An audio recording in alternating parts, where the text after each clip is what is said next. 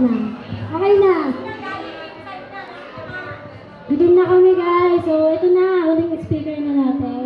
From MGU Partners ng Pasig City Hall, ang Rotary Club of Mutya ng Pasig, ang ating pong guest speaker na si Mr. J. Yan!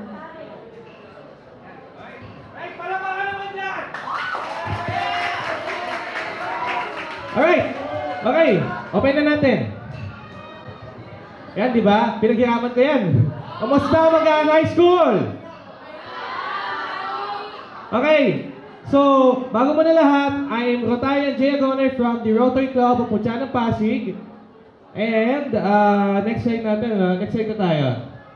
Okay, so bago mo na lahat, uh, of course, uh, papasalamat kami sa BC Scholars for inviting me here. Uh, also, I'm also representing the Rotary Club of Puchanan, Pasig. So, um, mamaya, kwentuhan ko kayo about that.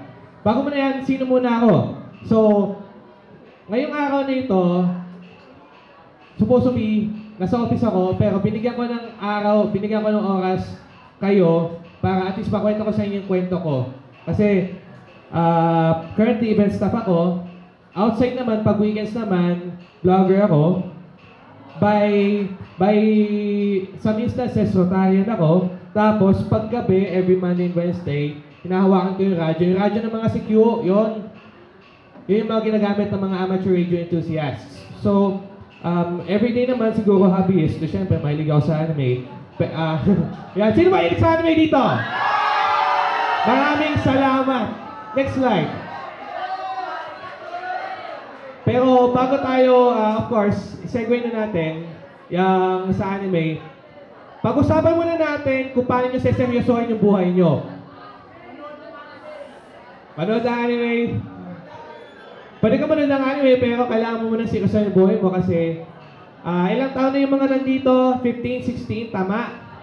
17, 18, 19. Sobra na yun. Alright. So, of course, tandaan nyo itong tanong mo to habang in-explain ko sa inyo. What is your career? Next slide. Tandaan nyo din yung mga tanong na ito habang kinukwento ko sa inyo. Gusto nyo, ano ba ang gusto nyo? Ano ba ang gusto nyo gawin? Ano ba pangarap nyo? Ano ba yung mga bagay na ginagawa nyo na gusto nyo gawin ngayon? So, next slide tayo. Kwento ko sa inyo kung paano ko pinili yung course ko nung wala pang K-12, nasa college pa ako noon. So, of course, bago prior pa sa sabihin natin college, of course, pipili na ako ng course. Eh, pipili nga ako, di ko naman na, di ko naman trick. So, tingnan ko muna kung anong gusto ko. Gusto ko magsulat, gusto kong kumuha ng litrato. So, next slide tayo. Of course, anong may connect natin doon sa dalawang yon? Next slide tayo. Yan. Okay. So, gusto ko magsulat. Eh, mostly naman ang mga nagsusulat either mga writers sila or mga journalists. So, pwede journalism ang course ko. Eh, gusto ko din mag-take ng photos. Pwede naman photography ang uh, kunin kong ano, pero ah, hindi siya gaanong kasikat kasi marami man naglipa ng mga photographers dito eh. Sa, ano, of course, we're selfie capital. Lahat tayo photographer. Basta may cellphone lang tayong hawak. So, next slide tayo. Ano yung alternative ko? Kung hindi ako pwede mag-journalism, kasi walang journalism uh, course na malapit sa ka, dito, sa Kaita. Photography, pwede rin pero yun nga, sabi ko nga, hindi masyadong patok. Kasi lahat nagpo-photography na. So, pinili ko mass communication. Fast forward tayo, tapos na akong ah, mag-general ah, academics. So, tapos na ako mag-trigonometry, algebra, and all that. Tapos na ako sa technical writing. Ano yung susunod kong ginawa? Of course, eto na tayo sa mga last years ng ating college. Of course, you need to enjoy these things para maging smooth ang inyong senior high school life. Sino na po dito nag-thesis? Research. Research pa lang. Ini-enjoy nyo ba? Bakit hindi?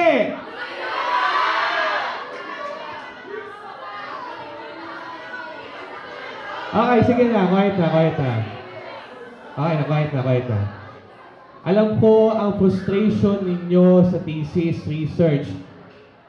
Depende sa mga napili ninyo. Uh, sino ba dito yung mga napilitan lang na pumili ng subject for research? Wala. So lahat ng mga pinili nyo gusto nyo. XP. Ayun. So, yun nga. You need to enjoy these two things para at least ma-enjoy na naman ang ah, buhay ninyo kasi ako, nagsusulat ako, of course. Panahon na ngayon ng storya. Panahon ngayon ng fake news. So, of course, paano sila gumagawa ng fake news? Of course, gagawa sila ng storya. Sa research, paano ka makaka-present ng iyong research? Paano mapapatunayan na may natutunan ka dito sa dito sa senior high or junior high rather? Paano? Of course, kailangan mo patunayan na may nagawa ka. Kailangan mong ah, at least kung na-enjoy mo yung research mo, hindi ka masyadong nag nag-aalangan sa sarili mo kasi may tiwala ka na yung pinili mo gusto mo. So, that's another thing. Ini-enjoy mo, tiwala ka doon sa subject na pinili mo for research. So, anong gusto ko sabihin dito? Enjoy nyo magtanong. Enjoy asking questions. Pilipinas mismo, mundo yan ng ano, lugar yan ng mga mahiyain. Tama? Pero kailangan makapalamukha ninyo kasi walang mahiyain pag nagtrabaho na kayo. Isa pa kailangan nyo enjoy, internships, work immersion. Sino dito nakapag-work immersion na? Wala pa. Sino pa dito, uh, dito ba sa Manggaan High School, meron po bang work immersion? Wala. Anong ginagawa nyo? Senior high, so junior high. At least alam nyo na, at least may tip na kayo kung anong gagawin nyo sa senior high. Junior high pala, junior high kayo. Pero, at least ito, may idea na kayo kung ano bang gagawin nyo. Kasi mag, nag, nag-research na kayo ngayon, junior high, senior high thesis. Pwedeng mangyari yon. So, kailangan nyo pagpagurin nyo yung mga ginagawa nyo, kailangan nyo paghirapan, so on so forth. Next slide po tayo. Ayan, so nasa, nasa ano na ako, slide 10. Tama? Alright. Yan. So, nung, nung college, kwento ko sa inyo, nag-intern ako sa tatlong major uh, broadcast or news media companies, ano? So, that's Manila Standard, Philippine Broadcasting Services, at Rappler. Of course, sino dito nakakalam ng Rappler? Ng Philippine Broadcasting Service? Wala, wala. Alam niyo ba ang FN2? Hindi.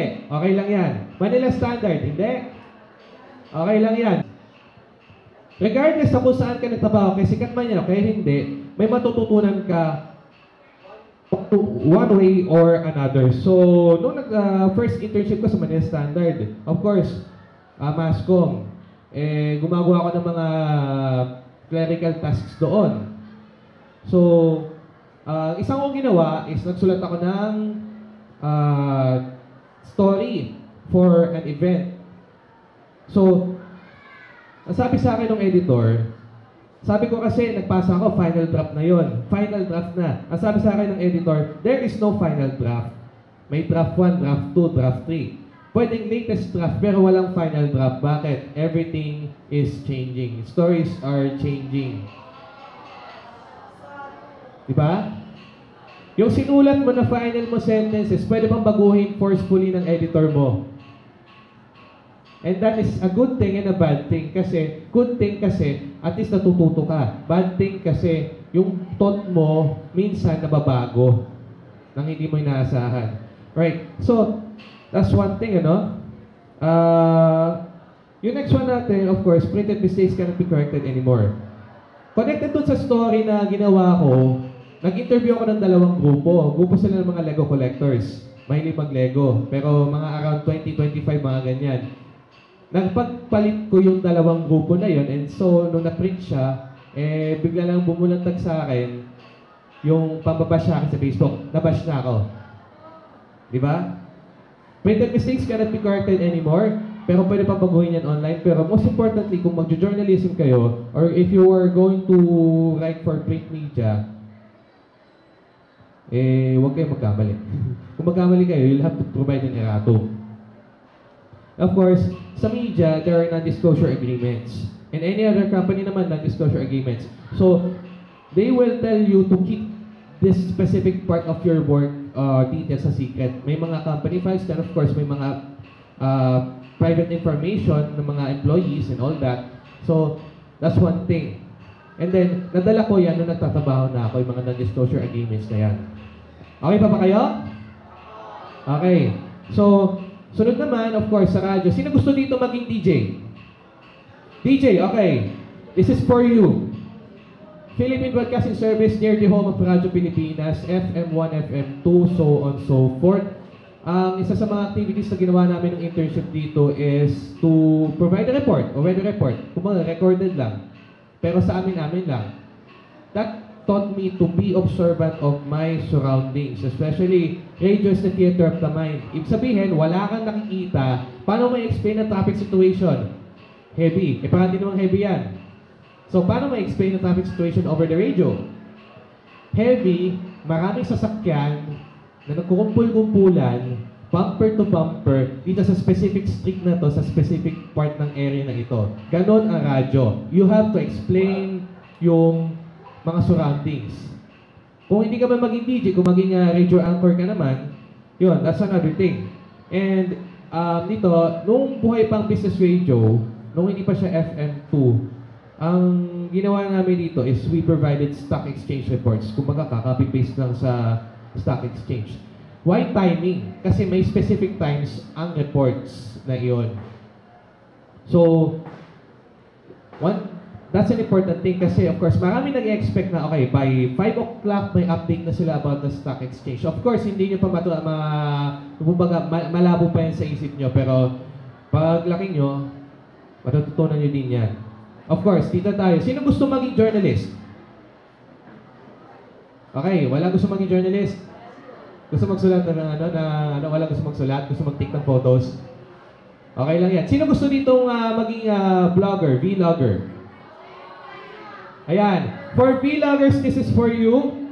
Kasi nandito ako natuto sa Rapper mag-edit ng video. So of course, maraming mga software dyan. Kailangan nyo na matutunan yung mga software na ginagamit sa pag-edit ng videos ngayon pa lang. And also, have a personal advocacy.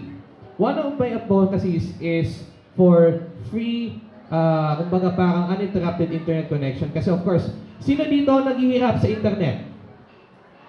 Sino dito ang naghihirap sa internet? Ang bagal ng internet ko. Yan, di ba? Ang bagal ng internet ko. Of course, ah, may mga ganito, ganyan. Pero ibang usapan yan. But the important thing here is, may reason for being ka. You have your personal advocacy. So, next slide tayo. Um, malapit na tayo matapos. So, it's, uh, okay, sa experience ko ito, what I can tell is that kung nag-fail ka sa research mo, okay lang yan. As long as you're able to get up and learn your lesson. May next time pa naman eh, pero you can you can try your best now, pero talaga hindi talaga mag-work, there's always a next time. At saka, ito, ang problema dinadaanan lamang, hindi tinatambayan. Kung may problema kayo sa sa shota nyo, sa jowa nyo, makaka-apekto yan pag tinatambayan yan. Hugot. Kaya huwag nyo tambayan, daanan nyo lang. Move on. And, more importantly, regardless of your failures, someone will recognize you. So you have to, to chin up. Isa akong malaking failure bago ako magsimula sa trabaho. Kagagraduate ko lang, naghanap ako ng trabaho, then I stumble upon my current company ngayon, which is an events company. They're, they're needing a uh, events coordinator. So, pumasok ako. Tinanggap nila ako despite my failures. Kasi ang laki ng ano eh, ah, at that time siguro malaki-laki yung mga ginawa ko mga kasalanan sa sarili ko. Next slide tayo. Currently, these are the things that I do. For duty, I am hosting sa mga events. So, by the time na makita nyo sa Glorieta by May, siguro baka nag-host ako doon for our uh, events company, which is X-Link Events. Next slide. Kung hindi naman again sa weekdays, nakikipag-usap ako sa mga cosplayers. Sino dito mga nakakita ng cosplayers? Okay, one, two. Ilan lang kayo? Kayo ba eh nagko-cosplay din? Hindi. Okay lang yan. It's okay. Di kaya, it's okay. At least nakakita niya, kakausap niyo mga cosplayers. It's okay. That's one of my hobbies. So gumagawa ako ng mga videos. And then, that is my, uh, that is the, what I do in the name of devotion. The, the things I do for love. Kumbaga. So, at least you have one thing that you do for your, uh, for love. And then, the rest will follow. Next one. The things I do for service, of course, I'm part of Rotary Mucha, a civic organization na nung kapanahonan pa ng mga nanay nyo, nung kapanahonan pa ni uh, uh, Vice Mayor uh, Lorna Bernardo. Ayan, Rotary Mucha ng Pasig. Ang ginagawa namin dyan, service projects. Ibig sabihin, pupunta kami sa mga iba't ibang lugar para at least may mahandog kami, mga project na makakatulong sa community natin. Personal advocacy. So, uh, last few slides. Next, next one. Okay lang na magkaroon ka ng libangan. Okay lang na makipag-meet ka ng bagong kaibigan. At okay na okay na mahalin mo ang sarili mo. First and foremost, you have to love yourself. Write this in your notebooks, anything. You have to love yourself. Huwag mong abusuin ang sarili mo sa mga kung anong bagay na hindi mo makakatulong sa'yo. So baka mag-Dota, hindi mo na mahal sarili mo. Pwede mong mahalin ang Dota kung gusto mo maging pro Dota player, esports. Kasi esports is a new niche. Kumbaga, esports, isa ng, ah, kumbaga parang bagong libangan na yan. Yung mga nakikita nyo sa Philippine Arena, sa SM Wallfish Arena, yan, pwede nyo paporsigihan yung pagiging esports player ninyo, pero huwag nyo pabayaan ang sarili nyo inabuso. Love yourself. Sino dito ang ah, gusto maging artista? Ayan tayo. So, yun nga, um, pwede mong papursigihin yan, pwedeng step by step, kasi you're young. Bata ka, bata ka pa. You're young, you can do almost everything you want, pero huwag mong pusuin ang sarili mo. Okay pa ba kayo sa likod? Okay, sa gitna. Okay pa ba? Okay. Sa harap, okay pa ba? Ayos. So, you have to think these things through. Next slide tayo. Maraming salamat. My name is Jay Agonoy and maraming salamat ulit, Manggahan High School for listening.